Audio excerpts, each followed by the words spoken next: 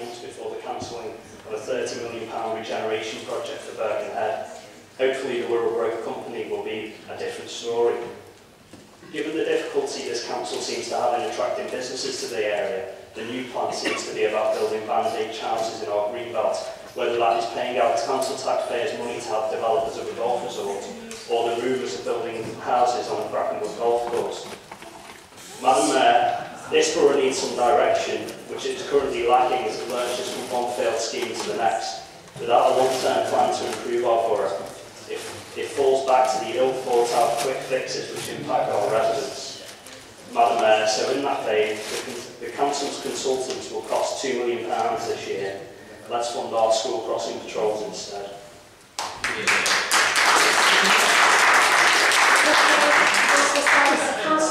Ward. Mayor. Firstly, I'd like to congratulate Councillor Usher on a fantastic speech. I'd also like to say that it's great to see the Labour Party empowering local young people to make a difference in their community. Madam Mayor, March 25th marks the one-year anniversary of the New Ferry explosion. The anniversary will be a hard day to stomach, not made easier by the complete absence of any financial intervention from the Tory government. Whilst New Ferry residents cry out for government support, it's Wirral Council, the only authority that has provided any financial support to the recovery of New Ferry. As it stands, Wirral Council's total expenditure is of £300,000. This amount is likely to rise. Government's total expenditure is nothing, it's zero, with not a whiff of any financial support coming soon. To make matters worse, Madam Mayor, the Secretary of State for Local Government and Housing, Sajid Javid, sent £72 million back to the Treasury. This money could have been well spent in helping regenerate communities like New Ferry, supporting a devastated community that's been kicked into the long grass. Madam Mayor, I am proud that in the government's absence, Wirral Council has stepped up to support this community. This is a budget that leaves no one behind. I know that this Labour administration can look in the mirror and be satisfied with our contribution and our hard work in supporting local residents during this horrific time. I ask Conservatives, both locally and nationally, can they do the same? And I think not. Before I conclude, Madam Mayor, I just want to say this. On the evening of the explosion, amongst the aftermath, our officers truly went above and beyond in their duties at all levels within this authority. I'm proud to endorse this budget and I'm proud to vote to provide our staff the pay rise they deserve. Thank you, Madam Mayor.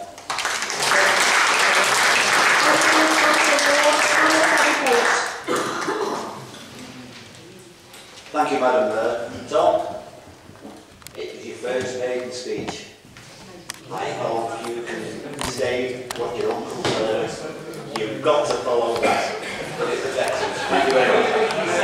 What, what, one thing we all, I think, what one thing we all forget is that we're here for the public, our members out there who voted it.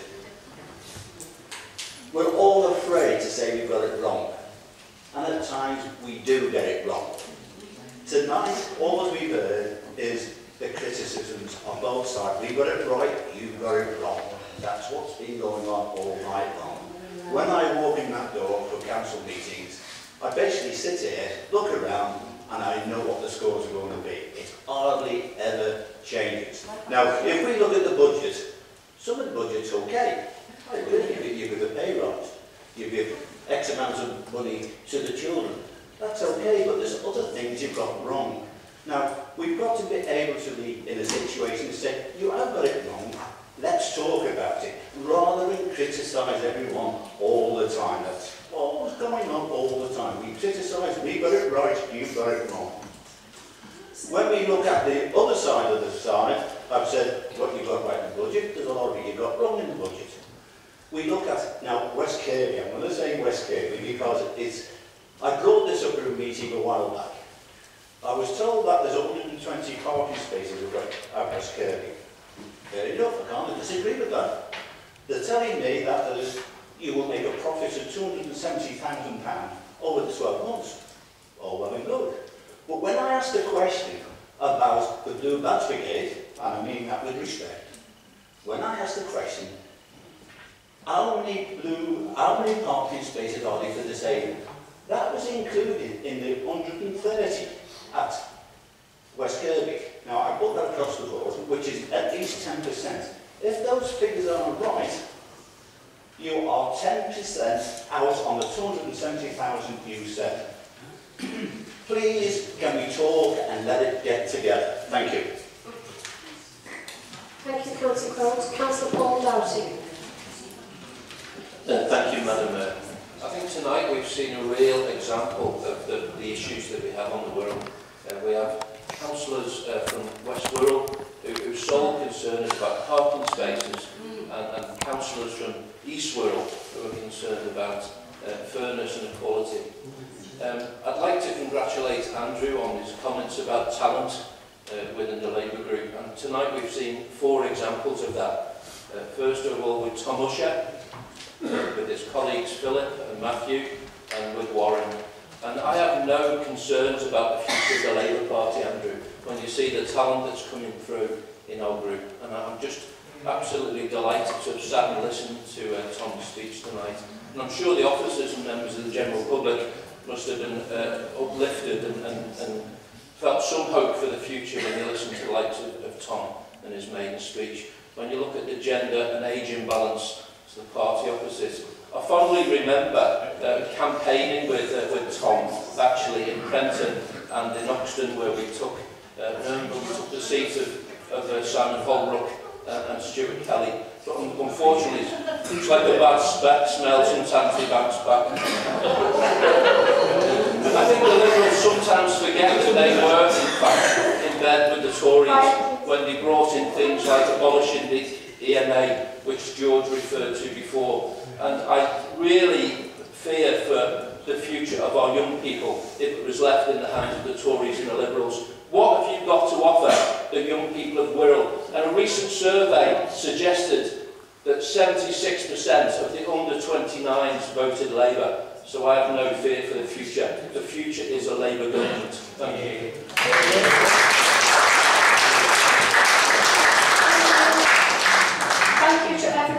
Contributions and I'm now going to move to seconders. And the first seconder is Councillor Brickhouse for the Liberal Democratic amendment and you have up to seven minutes to speak to the Liberal Democrat, second uh, Liberal Democrat amendment. Thank you.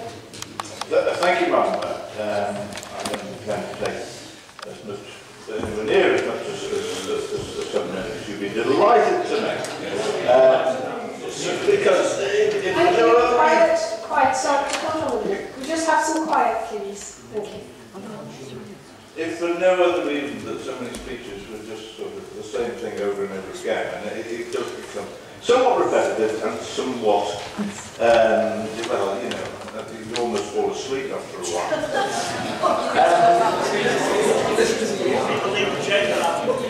And in a similar vein, I, have, I do have uh, a degree of sympathy for the leader of the council. Um, the night, I saw him being constantly questioned by other Labour Party members about the growth company uh, and the golf resort. Now, he, he, he handled it extremely well, and certainly he should. Um, he's very capable of dealing with these questions. Um, in fact, he could give us all badges, because, and we've heard them tonight, we, we could all have the badges. I, I can just about do it now. It's removal of the rate support grant. It's remember Northamptonshire and Wirral is not Haringey, which is a very, very profound indeed. But they're perfectly valid points. Nobody can disagree with the point that, is, that was being made.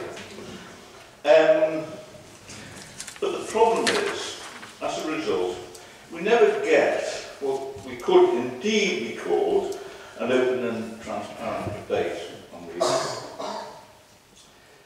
From the council's perspective, the limited liability partnership exists to deliver economic regeneration, to control the pace and direction of energy regeneration, and provide an alternative source of income. Well, I don't want to disappoint you, but that is an awfully hard ask. And it's, if I'm honest, it's a delusion to believe that the growth company will ever provide a significant cross-subsidy to other council services.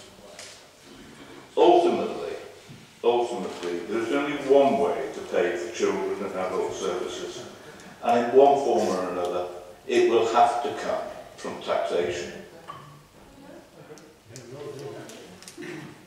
Now, because land values are so low, we have to buy a chunk of retail property in order to make our 50-50 balance. But is that a good idea? I don't know.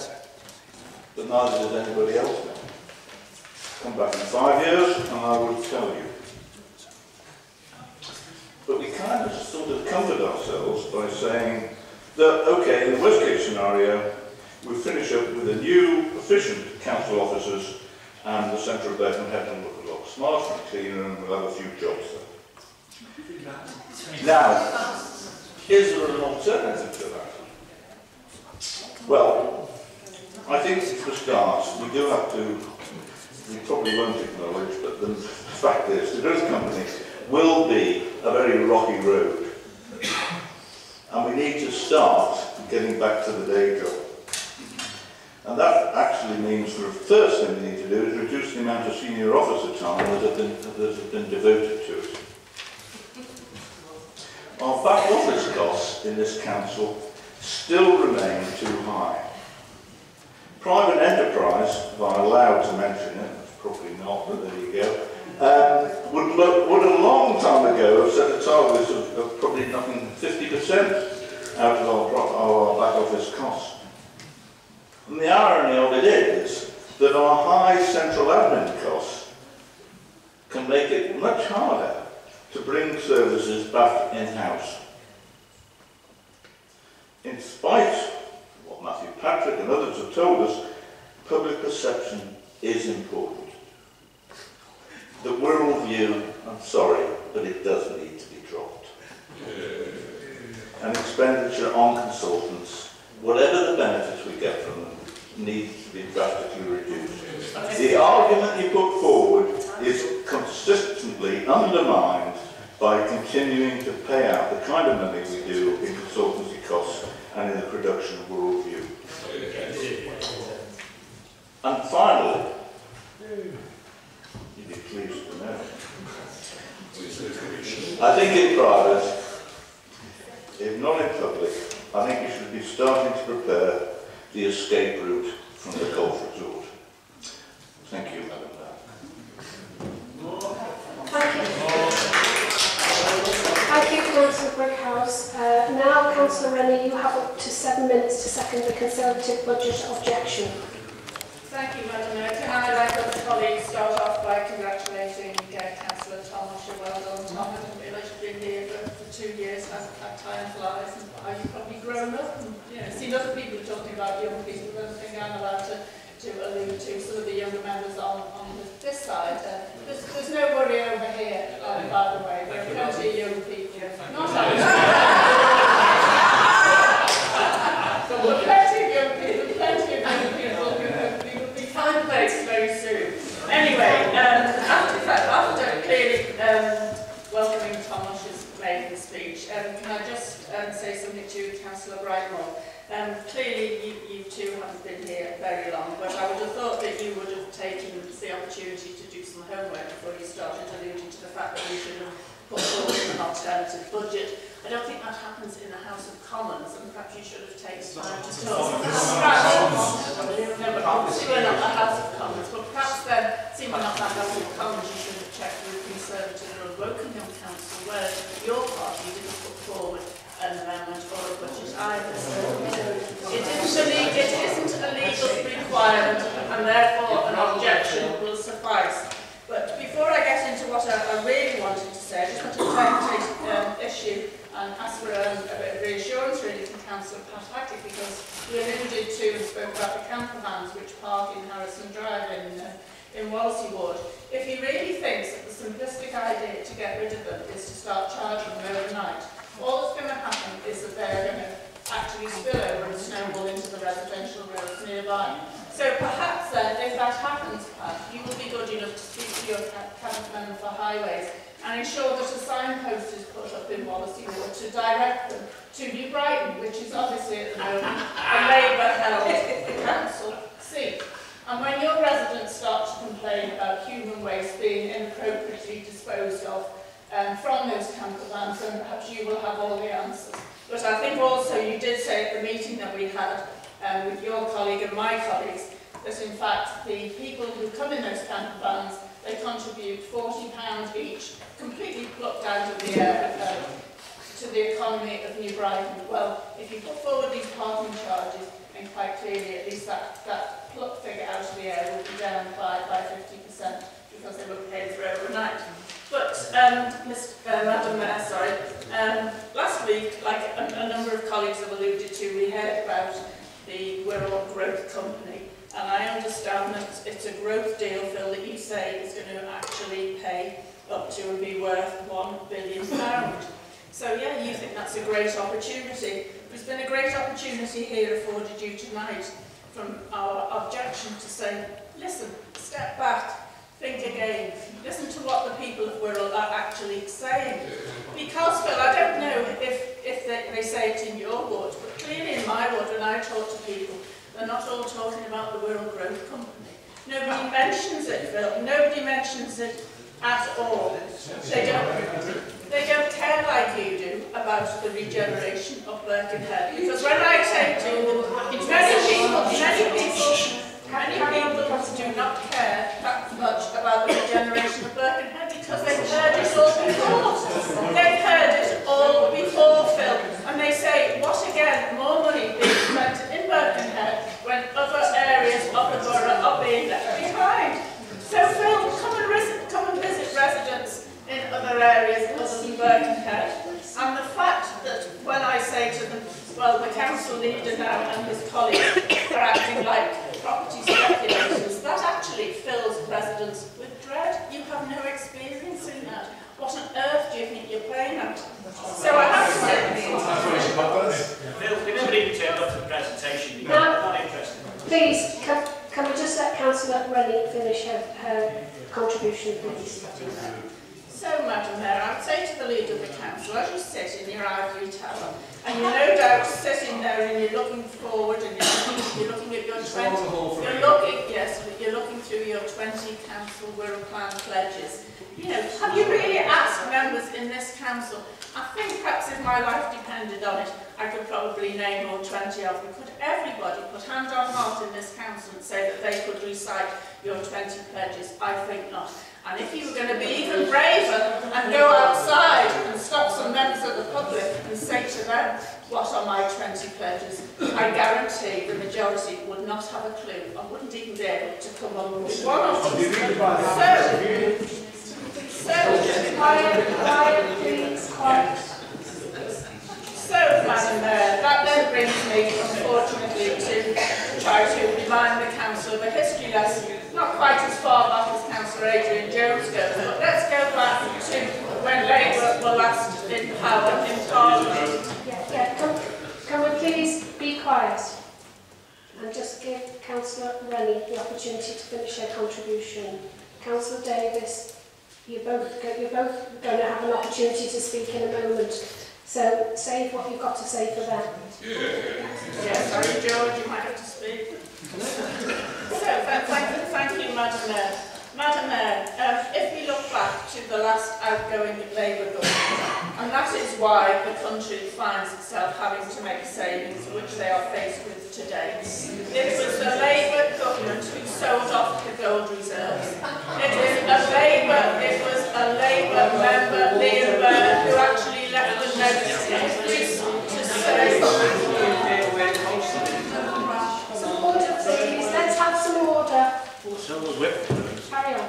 Madam Mayor, it was actually Liam Byrne who left that infamous note to say that there was no money left. And Madam Mayor, it was the outgoing Labour government that left this country brought to its knees. Madam Mayor, as you, again, as I say, as he sits in his ivory tower still, you must you must really look out and just see what people really want. Because when we talk to people about your 20 pledges, your growth companies, their eyes, their eyes literally glaze over because they want to know what's happening about car parking charges. They want to know. They want to know why They want to know why the lights don't get repaired. They want to know why they can't have the potholes filled. You've had a quarter of a million pounds from the government. I think you've only spent about, what is it, 49,000 of it? It's absolutely ridiculous. And Councillor Brian Kelly alluded to the visit of the Home Secretary. And I understand, Phil, that you're rather upset that you actually didn't get time to speak to her. Well, Madam Mayor, let me inform the Council that I actually did have time to spend with the Home oh, Secretary. So I'm quite willing, I'm quite willing to, I'm quite willing to let the Council have a few secrets as to what went on. Clearly I'm not going to reiterate the conversations that we had, but I will tell you what she didn't say about Wirral Borough Council. She never spoke once about your administration protecting well vulnerable old people. She never once mentioned how your administration had a history of protecting vulnerable young children. And she never said how well lit you light our streets. She never said anything about the lovely smooth roads which you think we have. And she certainly never said anything about well-pruned trees. She didn't say, she didn't even say that what a good idea it was of yours to employ consultants on top of what we used to have, three strategic directors. She never even mentioned that, Madam Mayor. And Madam Mayor, it's not really surprising that she didn't mention what a great job you were doing as media magnets in producing your Wirral View newspaper. She never mentioned any of that. But what we are offering here tonight, Madam Mayor, is the opportunity to Labour or to think once again, just to say, have five days. You can come back to this council in a couple in next week. We have actually a reserve date in here. And you can look at what exactly the priorities are for the residents of this borough. And Madam Mayor, to say that you, Madam Mayor, to say that you consulted and you were pleased with the fact that 6,000 people actually responded to your consultation is ridiculous. Are you not aware, Phil, as leader of the council, that there are a third of a million people in this borough? Uh, to have 6,000 people respond to your budget is absolutely ridiculous. Madam Mayor, we offer the leader of the council the opportunity to come back next week and we hope he actually takes up our offer. Thank you, Councillor.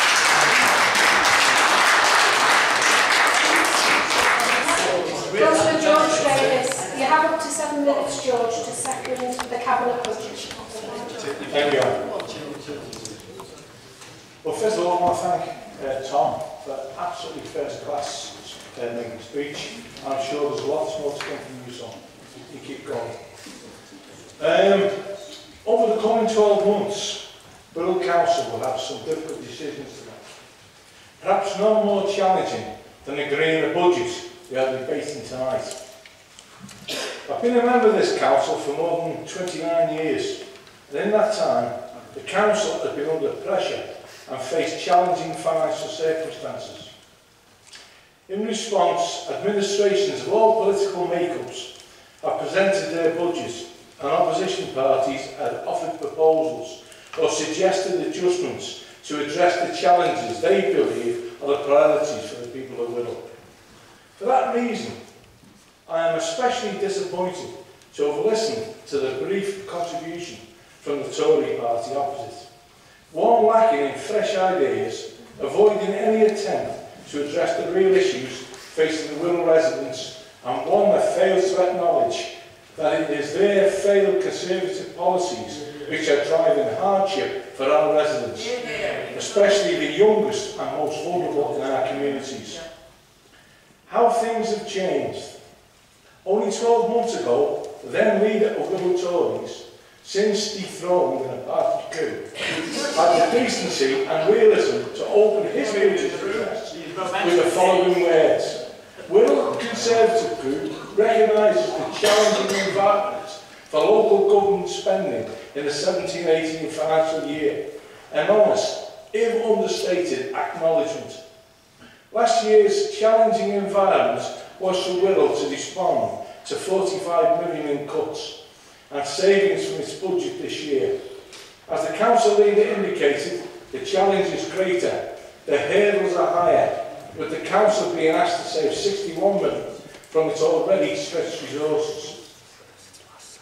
But there was no acknowledgement of the scale of the challenge from this year's leader of the Wirral Tory group, no attempt to engage in the debate, just 158 words trotting out the old ideas. Wirral view, cutting some workers, no plan to deal with the crisis in social care, no apology for the government turning its back on local authorities, no concern for the impact of the failed austerity policies that this Tory, Tories promote. Wirral faces tough decisions in the years ahead.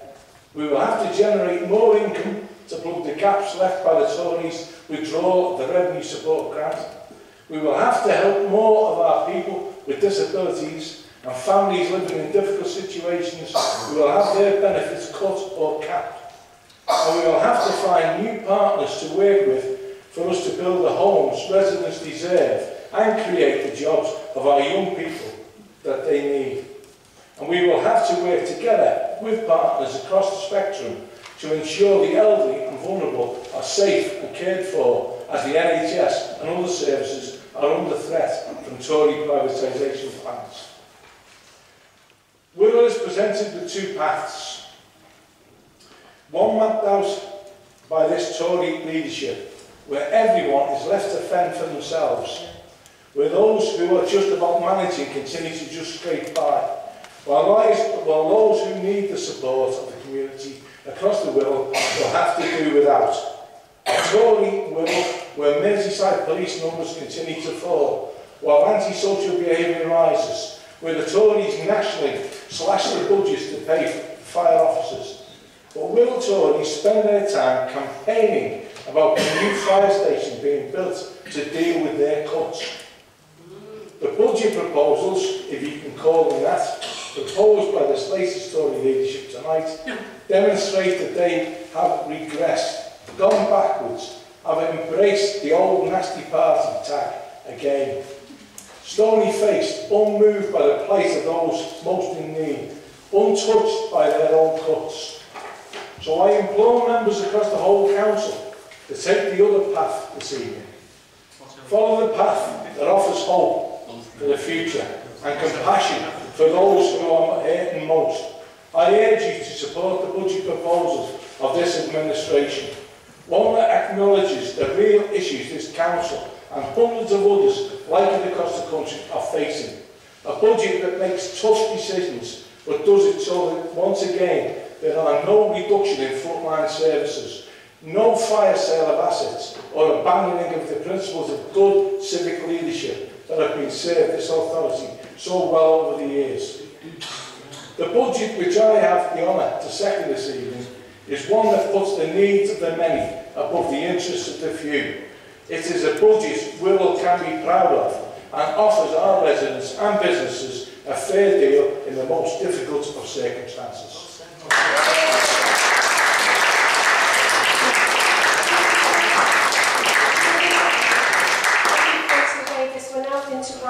Reply, and Councillor Gilchrist, you now have five minutes to reply to the debate. Thank you, Madam Mayor. I was accused of not providing a full account of history, but I seem to remember that the general election was won by the Conservatives and bolstered in power by the DUP. It didn't happen to vote for my party in sufficient numbers, which no doubt cheered you all. Uh, at the same time, same time, we ended up with the government of God. But the only thing not forgotten is that Alistair Darling promised as Labour Chancellor all those years ago that he was going to reduce the deficit and halve and we entered into a program of savings that Alistair Darling began to cash out, and that savings would have been made, and it would have affected local government. Well, moving on from that, we keep giving the government bits of ammunition to attack us. See, I read the debate about the settlement, and I looked at what Alison McGovern said about New Ferry, and I looked at Sajid Javid's reply. And he said this council should show better efficiency with the public money it has. It could stop spending £240,000 a year on the local newspaper publication. Instead of replying to the general, genuine point about local councils, we just ended up with a stick to us. But I did take note of what Sajid Javid said about New Ferry. Quote, can we have this framed and stuck on the wall somewhere, please, so we see it every day? Quote, I am determined to try to help with that disaster and help the council deal with it. Now, I haven't seen the results yet of any help, and we must keep pressing. Now, I made a few nautical references in my speech, and you'll forgive me for referring to those again. But we now have what I call, what Churchill called, I'm afraid, the gathering storm. It is a problem with our court, a problem with the financial difficulties we have, the problems that stem from our use of reserves. Now, we have an opportunity, I want to take it up. As I mentioned earlier in the meeting, the government said that we want comments on the fair funding review. I've written to leave the council suggesting a course of action. I'm going when I get home tonight to circulate my letter to the leader to all members of the council. Because what Mr Javid said was, I want local government funding to be decided in a fair, robust and evidence-based way. One that reflects the most up-to-date picture of council's relative need and resources. So for all the complaints we make, we need to do something about it in return and to say so clearly. So that's why I've picked that out. Now, I just want to deal with the issue of the growth company. Uh, as Adam Sykes said, we've lurched from one failed scheme to the next, and I think a battle shoe. But also, um, Councillor Burgess Joyce referred to, is there a plan B? This is plan A. I haven't had a chance to read it much yet. It only arrived with me last Friday, and it was left in my office for me to study. This is 600 pages of an exempt document. The exempt document on every page is stamped confidential and restricted. It is the deal with Muse. Somehow, there has to be a democratic way of this council monitoring and influencing that deal to learn the mistakes that we've made with Jarvis and to avoid them again. So I'm looking forward to some concrete, if you forgive the pun, concrete proposals about that that we can deal with. I've not forgotten to thank Councillor Usher for his maiden speech, because he mentioned that staff went the extra mile. We saw that after the New Ferry explosion, we saw it in the winter. I could mention other members who said other things. One point was made by Councillor Hodson, which I think was something of a slur on the issue of Grenfell Tower. And I'm not going to rise to that, except I wish it hadn't been made. We need a constructive case for Will, and I think we ought to get on with that before the gathering storm actually overcomes us and vote gets sunk on the course that we've got. Thank you, Coun- Councillor Gilchrist. Councillor Lewis, you now have up to five minutes to reply to the debate. Thank you, thank Madam Mayor. Excuse me. Uh, can I congratulate Councillor Usher uh, for his maiden speech and also on behalf of the search group, giving my deep sympathies that we now in your relations to Councillor Farris. uh, I'm, uh, Councillor Paul Stewart, if I was minded to take legal advice, uh, I'll be going to see a solicitor tomorrow after what Councillor Paul Stewart said about me. I would like to confirm Madam I'm not council. I have never, to my knowledge, allowed a Liberal Democrat to slip in between my sheets. I probably would have noticed. No offence, guys.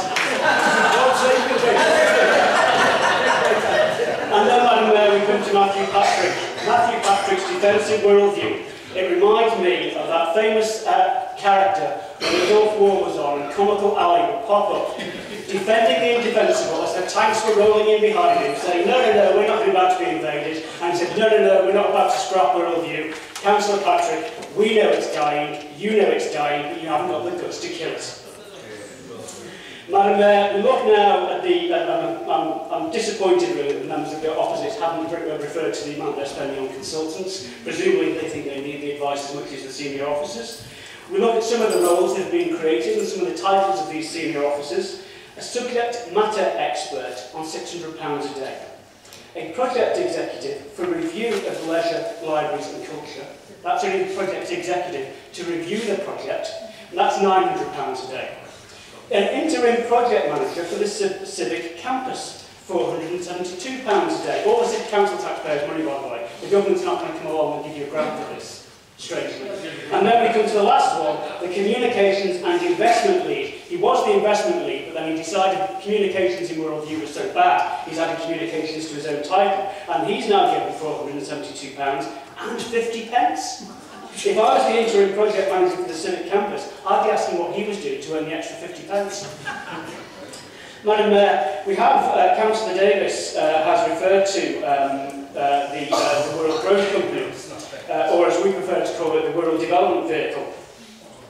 Madam Mayor, if, trans if, if, transferring, uh, if transferring this council's assets to a speculative joint venture company is the answer, Madam Mayor, what on earth does he think was the question? Now, one of the Liberal Democrat councillors, forgive me, I can't remember which one, uh, made reference to the fact that Eastham Labour Party is now campaigning with them against the, the uh, country parking charges. I'm delighted to say, Madam Mayor, that Moreton Labour Party, their wonderful candidate, Bill McGinty, who I was happy to endorse, when he was taken off your list and he asked me for a reference to go back to your district Labour Party, I was happy to give that reference. And Mr McGinty, Bill McGinty, is now telling the people of Moreton that he's against consultants as well. The penny has dropped, Madam Mayor. Now, we used to tease Councillor Davis about putting all the council money on the bingo. Not for one minute, Madam Mayor, did we think he was taken as literally. He's now bought Mecca Bingo in Birkenhead for £8 million. Madam Mayor, the two fat ladies certainly saw him coming. It's a pity, Madam Mayor, as we've seen in the Liverpool Echo this week, as highlighted by the excellent councillor for Birkenhead and Tranmere, Councillor Pat Cleary, who is speaking up for his community. But not tonight. It's a pity, Madam Mayor, it's a pity, Madam Mayor, that Councillor Davis can't even persuade the Birkenhead market traders of the benefits of his plan. How different things are in other councils. The group opposite are obsessed with Northamptonshire. Madam Mayor, I don't mind if they go to Northamptonshire. My only concern is if they come back. Madam Mayor, yesterday I was in Trafford. Trafford, a lot nearer than Northamptonshire. Trafford, shown around Trafford by two of the executive members with proper cabinet titles, not the made-up ones that you come up with, Phil. Oh. And they took me round a northern metropolitan area that's opening new libraries, cutting parking fees and fixing potholes. A can-do council in Trafford versus a make-do council in Wirral. Now, Madam Mayor, I'll come now to the comments and the helpful advice from the Cabinet Member for Finance. Madam Mayor, she said uh, she would take no lessons from me. Madam Mayor, as the leader of the Conservative group, I think I speak for the whole group, that not one of us would take lessons in economics from a Marxist. As she told us six months ago, she was proud to stand up and say she was a Marxist. Madam Mayor, the budget tonight is anything but Marxist. So what was the, what's the answer for that, Councillor Williamson? Have you sold out and become a red Tory? Yeah, Madam Mayor, this budget, 60,000 households in Band A properties will be paying £150 a year more than when Councillor Davies became the Great Leader. A further 32,000 homes in Band D paying 175 more. Madam Mayor, in total, those families in the least expensive homes in our borough, many of which are found in the terrace streets of Birkenhead and Tranmere, social housing in all our wards and starter homes, are the very people that Labour is supposed to be protecting. And yet they will be paying £20 million a year more into this council's budget, while 262 households in the most expensive band will be paying between them £118,000. Madam Mayor, it looks like the leader of the council has lost the memo from Jeremy, in spite of the attempts from the members of the Labour group to play momentum bingo with references to the many, not the few. This is a budget for the few, not the many. The few at the top of this council, who are raking it in, paid for by those people beyond this town hall, who are doing everything possible to make ends meet. His budget tonight makes their task that much harder.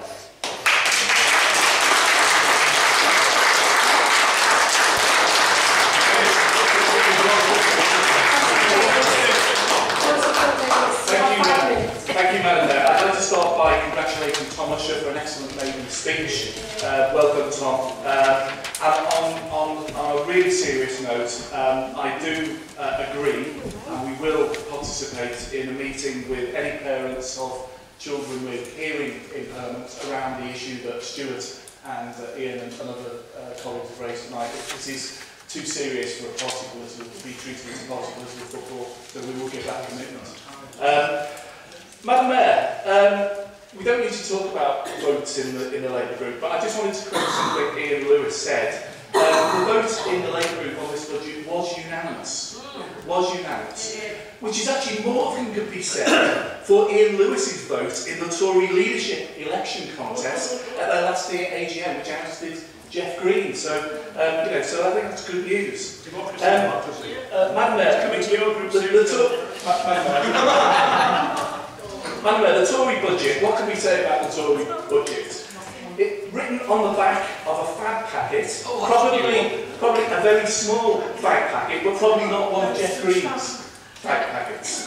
Uh, you know, I never thought I'd say this, at least when Jeff is the leader, we actually had proper alternative budgets. I never agreed with any of it, but at least we had that. At least we had that proper, proper, rather than this, you know, uh, attempt at a few kind of uh, wish lists, uh, which they put forward tonight, which, you know, uh, must have taken, you know, probably, Matthew's right, not more, much more than three minutes.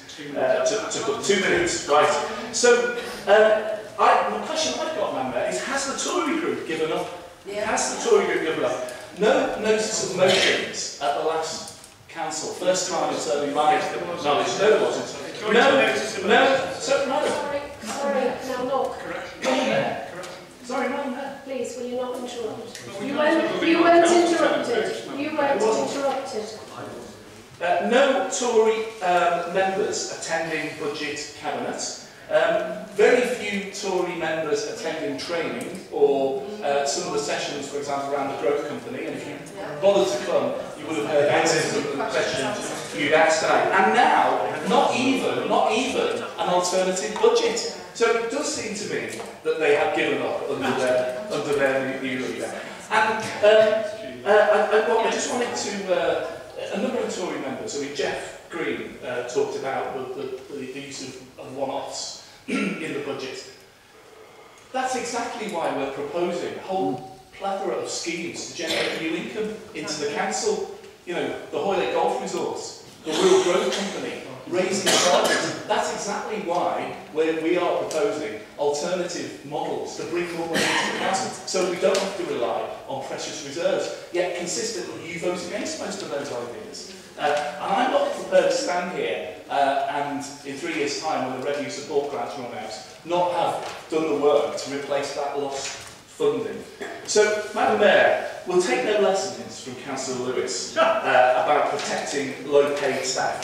This is the party that consistently wanted to cut the number of trade union, full-time trade union. Yeah, Jeff Green's leadership.